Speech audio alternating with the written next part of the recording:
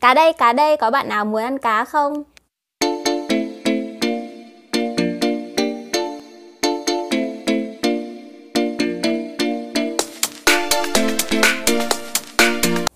Xin chào các bạn, vụng tay nhưng hay nấu lại quay trở lại rồi đây Hôm nay mình đã xuất hiện với một cái đầu mới các bạn thấy thế nào, có hợp với mình không?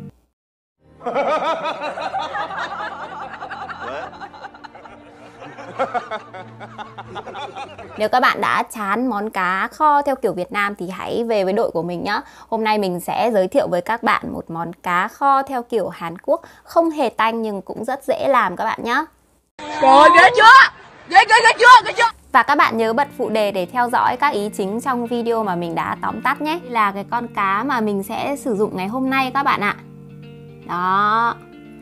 Cái con cá này nó có tên cúng cơm của nó là gì đố các bạn biết? Nó có tên là Myong Thê đó các bạn. Nhưng mà ngoài ra, ngoài cái tên này ra thì nó còn có rất là nhiều các cái tên khác nữa đó các bạn. Nếu như mà nó còn tươi thì người ta sẽ gọi nó là sen Thê.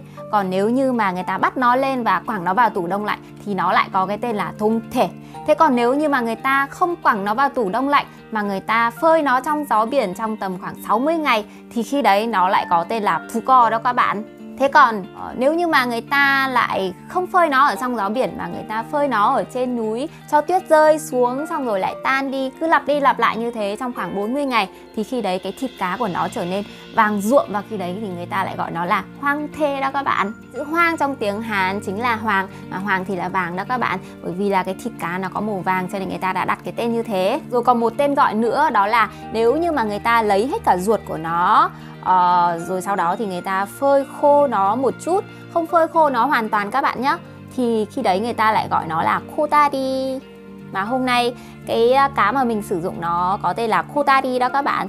Đây các bạn có thể thấy là cái phần ruột đã được lấy hết đi rồi. Đó. Và cái à, con cá này nó hơi khô một chút các bạn ạ. Bởi vì là mình đã rửa nước cho nên là nhìn nó ướt nhưng mà à, thực ra là cái thịt của nó đã hơi săn săn lại rồi. Còn một tên gọi nữa đó chính là à, cái con cá con của con cá này này. Khi mà người ta phơi khô nó lên thì người ta lại gọi nó là nogari và cái uh, con nogari ấy thì uh, được sử dụng rất nhiều trong các cái món ăn uh, và cả món nhậu nữa đó các bạn. Cái trứng của con cá này người ta không có gọi nó là trứng cá thông thường đâu nha. Người ta gọi nó là meong nan thì mới chịu đó các bạn rồi vậy là mình đã giới thiệu một lô xích sông tên gọi của loại cá này. Thế thì bây giờ chúng mình sẽ tiến hành sơ chế nhé ở đây thì à, cá này mình đã làm sạch sẵn rồi. Ngoài cá ra thì mình còn có đã chuẩn bị cả củ cải nữa. Đây, đây là củ cải mình đã gọt sẵn vỏ rồi nha các bạn. Ờ, Ngoài cá và củ cải thì à, mình còn có cả hành tây uh, ớt xanh, ớt đỏ và cả uh, hành lá nữa. Cái hành lá này là hành à, đại của Hàn Quốc đấy các bạn. Nó khá là to so với uh, hành lá của Việt Nam đúng không? Trước tiên là mình sẽ thái củ cải. Bởi vì là khúc cá to cho nên là mình sẽ thái củ cải theo một cái kích thước nó cũng tương xứng với cả con cá các bạn nhé. Nếu mà các bạn thái mỏng quá thì cá sẽ buồn đấy. Ờ, mình sẽ thái với độ dày khoảng tầm ờ, 1 cm Vậy là mình đã thái củ cải xong rồi. Bây giờ thì mình sẽ tiếp tục với hành tây. Hành tây cũng vậy các bạn nhé Chúng ta sẽ thái to một chút. Mình sẽ thái làm tư như thế này. Hành này cũng như vậy các bạn nha Vì là các cái nguyên liệu ở trong cá ờ, Nó có cái kích thước ờ, không nhỏ Cho nên là mọi những cái nguyên liệu chúng ta cũng cần phải thái với kích thước vừa phải. Cái hành lá này của mình đã để ở trong tủ đông lạnh một cái thời gian rất là dài rồi cho nên là các bạn có thấy không? Uh, nó nhăn nhau như là da bà lão vậy này. À, thái nhỏ hơn thì nó sẽ bị uh, thái vào tay mất. Rồi vậy là mình đã thái xong hành tây rồi bây giờ mình sẽ thái đến ớt nha các bạn. Uh, ớt cái cách để mà mình có thể là trông cho cái miếng ớt cho nó to hơn đó đó chính là mình sẽ thái xiên xiên như thế này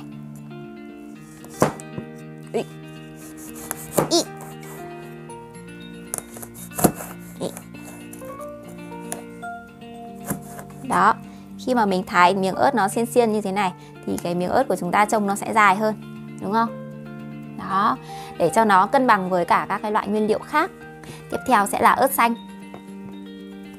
Ớt xanh mình cũng sẽ thái như vậy. Ồ, nếu bạn nào không thích thì có thể bỏ bớt hạt đi các bạn nhé khi mà bỏ ớt hạt đi thì cũng sẽ khiến cho cái ờ, món ăn của chúng ta trông nó gọn gàng hơn. Rồi mình đã thái xong rồi và mình sẽ để nó ở đây cùng với cả các cái nguyên liệu khác. Các bạn ơi, mình đã sơ chế các loại nguyên liệu xong rồi. Vậy thì bây giờ mình sẽ pha gia vị cho món cá kho nhé. Gia vị món cá kho này sẽ bao gồm có nước tương, nước tương xì dầu các bạn nhé. Mình sẽ cho vào đây là 200ml tương xì dầu. Tiếp theo mình sẽ cho vào đây 3 thìa ớt bột. Tiếp theo là hai thìa tương ớt. Và mình sẽ cho vào đây thêm ờ, 4 thìa nước mắm Hàn Quốc nữa các bạn. Béo chi exhaust đây là cái gì nhỉ? À đây là dầu vừng nhá các bạn. Dầu vừng thì các bạn có thể cho vào luôn từ bây giờ Hoặc là sau khi mà chúng ta đã nấu gần xong rồi Chúng ta cho dầu vừng vào Thì nó sẽ giúp cho cái mùi dầu vừng nó không bị bay mất. Cho nên là mình sẽ để lại dầu vừng đến uh, lúc cuối các bạn nhé. Ờ, Tiếp theo là mình sẽ cho vào đây 4 thìa đường.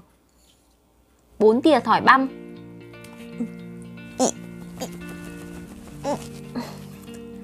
Nó không rơi xuống anh phải dùng tay vậy. Và tiếp theo nữa là hai thìa gừng gừng băm các bạn nhé gừng sẽ giúp cho cá không bị tanh. Mình sẽ cho tay vào cho nhanh. Tay mình đã rửa rồi các bạn ạ. Ờ, rồi, vậy là mình đã cho tất cả các nguyên liệu vào rồi và bây giờ thì mình sẽ trộn đều lên.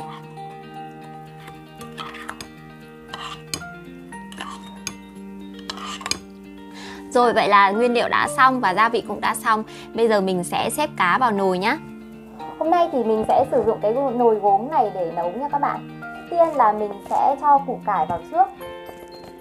Mình sẽ xếp một lớp củ cải ở dưới đáy nồi.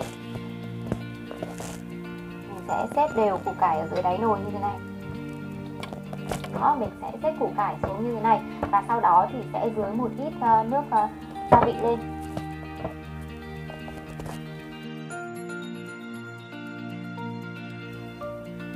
Rồi, sau đây thì mình sẽ cho một ít nước vào để nấu chín củ cải trước.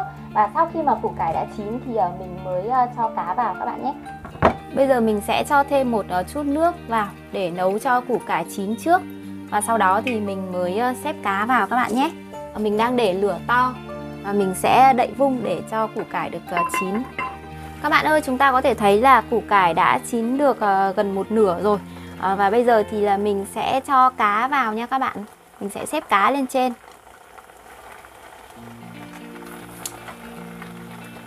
Và bây giờ thì mình sẽ cho gia vị vào. Chúng ta sẽ chỉ cho khoảng độ ờ, một nửa số ờ, gia vị hoặc là 2 phần 3 số gia vị thôi các bạn nhé. À, Bởi vì nếu như mà chúng ta cho hết ấy, thì là à, mỗi một người có một cái khẩu vị riêng Có người thì muốn ăn mặn nhưng mà có người thì muốn ăn nhạt. Thì sau khi mà cá đã chín rồi thì các bạn có thể nếm thử nếu như mà các bạn thấy nhạt thì khi đó các bạn cho nốt cái số gia vị này vào cũng được các bạn nhé. Theo là mình sẽ cho vào đây khoảng độ um, 300 ml nước để kho các bạn nhé. Và bây giờ mình sẽ đóng nắp tung lại.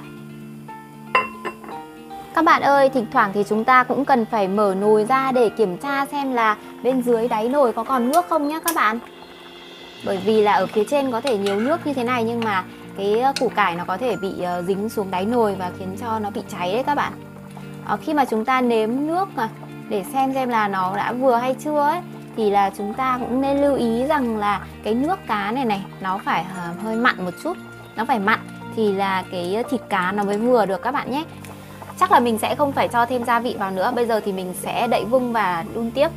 20 minutes later. Các bạn ơi, khi mà nước rút xuống còn một nửa thì chúng ta sẽ cho hành tây vào nhé.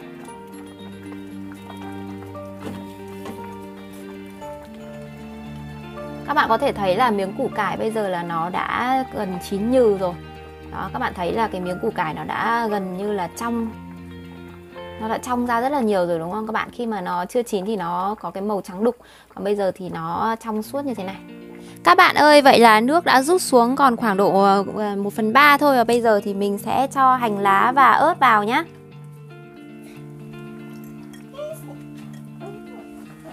Các bạn đun thêm một chút nữa là chúng ta sẽ tắt bếp. À, Và ở bước này thì mình sẽ cho luôn cái ờ, dầu vừng vào cho thơm các bạn nhé. Các bạn ơi, vậy là món cá của chúng ta đã xong rồi Và hiện nay thì là mình sẽ gắp nó ra đĩa nhé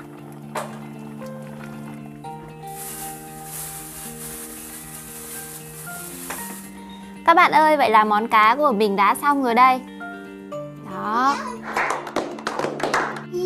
Và mình sẽ rắc một ờ, chút ờ, vừng lên để ờ, trang trí cũng như là làm cho món ăn của chúng ta thêm thơm hơn nhé.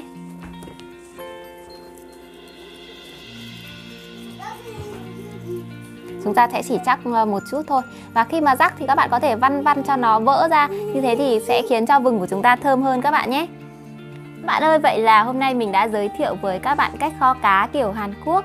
Hy vọng rằng các bạn sẽ thực hiện thành công tại nhà mình và sẽ tiếp tục theo dõi mình trong các video tiếp theo. Xin chào và tạm biệt. À, nhớ like và nhấn theo dõi mình nhé.